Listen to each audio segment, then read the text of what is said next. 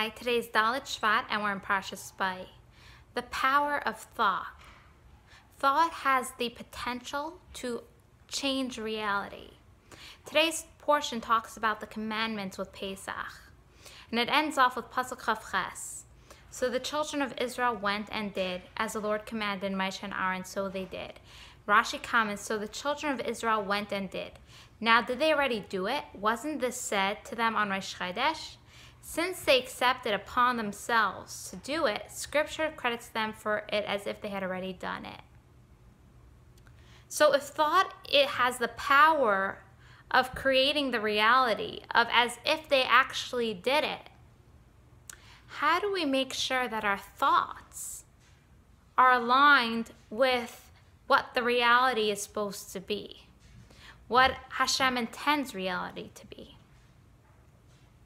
First and foremost, we have to realize that we are a channel.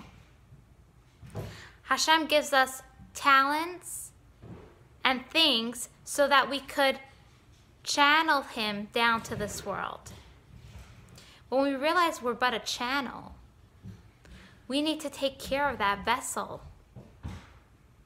When the vessel is taken care of, and all its needs and wants taken care of, then it has its full strength to be in tune and open and bring down the divine energy. And so the thoughts that come down are ones with which Hashem intends the world to be.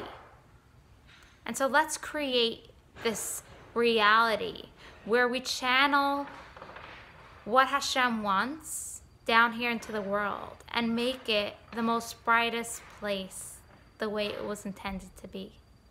That's a bit of today's Chumash. Have a wonderful day.